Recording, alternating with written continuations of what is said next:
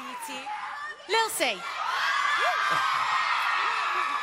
They love you. They love you, Jason. They love you. They love you. Um, however, I did not love that. Okay, why? I'm I'm left. I actually am left feeling a bit perplexed at the end of the number. Um, I think that the choreographer's fantasy has to become the dancer's reality, but I think it kind of became a nightmare for you guys up there on stage. I felt like your moves were very, very sharp and very, very clean, but because of that, it kind of came off corny. It was missing uh, some nectar for me. Mary, what did you make of it?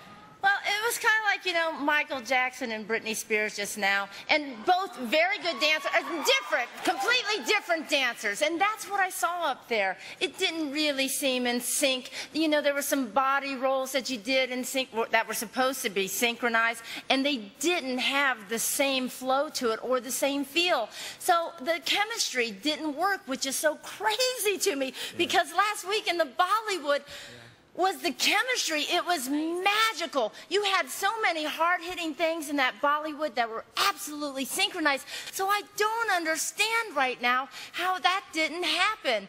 And I just love the fact that Shane Sparks is back on the show, and I love his numbers, you know? But you didn't. you didn't really nail it. And it's just a shock. I'm perplexed by the whole thing, and I just love the two of you. That's all I have to say. Nigel, what do you think? Are you slightly shocked too? No, I'm not. Uh, not at all. You know, I, I, think, you know, we expect a certain hard-hitting side to hip-hop, and yet this program in itself has evolved hip-hop over the five years that we've been on the air. You've seen the different styles that have come and gone, and I think what Shane's done here is brilliantly, he's looked at the dancers that he's got. Neither one of them are hard-hitting hip-hop dancers. So I think Shane did a completely different style with you guys to make you look good, and I thought you looked really good up there doing this routine.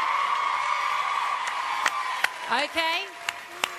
Those are the judges' opinions, but you guys at home have to vote. One guy and one girl from our bottom three couples will go home tomorrow night. If you don't want it to be these two, and why would you? Oh.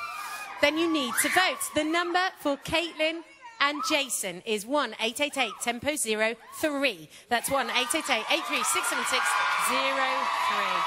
Well done, guys. Well done. Couldn't resist.